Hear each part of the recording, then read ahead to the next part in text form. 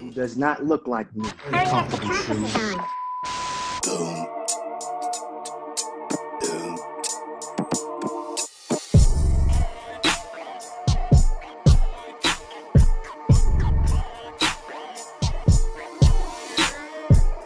YouTube, what's the deal? Kings, queens, I appreciate you for tapping in with your boy on a Turn Up Tuesday.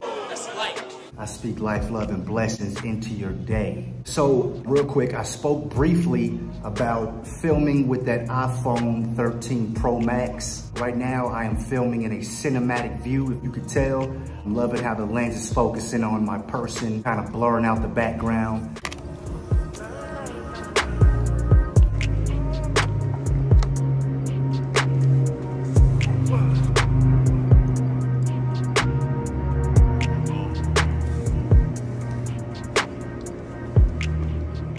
Today on foot, uh, nothing new, that Yeezy 350 Boost Ash Pearl. A very comfortable shoe. Go ahead and take a peek at it, okay? That is how I lace my shoes, basically, okay?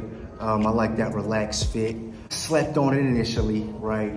Took, took a L uh, in terms of taste, okay? I wasn't a big fan of that sole, uh, that whitish kind of pearl, that translucent, was not feeling it. Went ahead and took a chance on them, copped them, put them on foot, and fell in love instantly.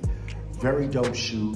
I partnered that with the uh, Paper Planes, banana yellow, and that suede khaki dad hat. It's got the brown leather strap. Again, my infamous powder orange overshirt, that tan cardigan, okay, and I went with a gray pair of skinny fit chinos, no socks, down into that Yeezy 350 Ash Pearl.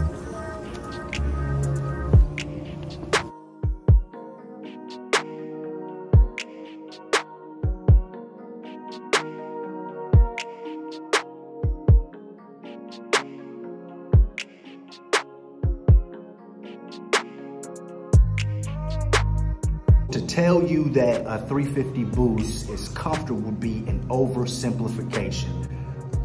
The most comfortable pair of tennis shoes that I've ever put on in my life, okay? No, I'm not endorsed by Adidas or Yeezy. However, if you are one for comfort, this is a pair of shoes that you need in your collection. Walk into your purpose. We improve, not impress. And in doing so, you will impress. Bless. I'm a vibe, it's a vibe. Subscribe to my channel.